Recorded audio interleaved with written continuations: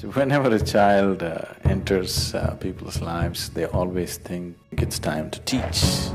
No, when a child enters your life, it's time to learn. Because between you and your child, who is more joyful? Child. So who should be a consultant for life? Definitely he's better qualified than you, isn't it?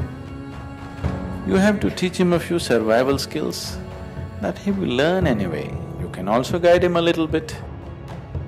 But when it comes to life, he's able to make any simple situation a joyful situation. So definitely he must be the consultant for life, isn't it?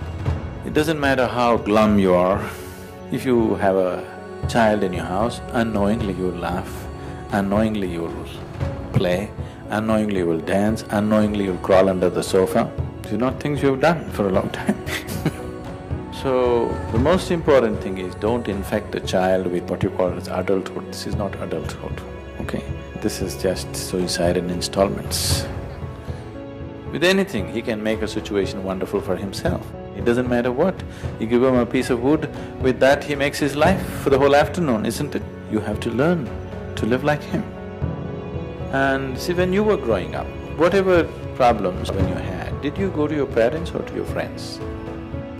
Whom did you share it with? Friends. Why is it that parents who have been with the children right from day one can't be good friends? You just have to get off your pedestal, that's the most important thing. And be a friend, if he has anything, you should be the first person that they share with, isn't it? Yes? That's a very important safety net for the child.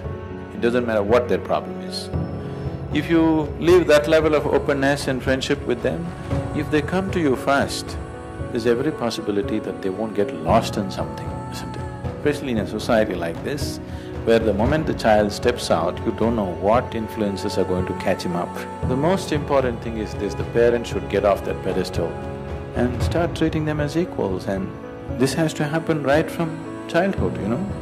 That he never sees you as somebody who's pushing him around or bossing around or all the time advising him about something, that you are very much a friend, he can talk to you and you talk to him as an equal.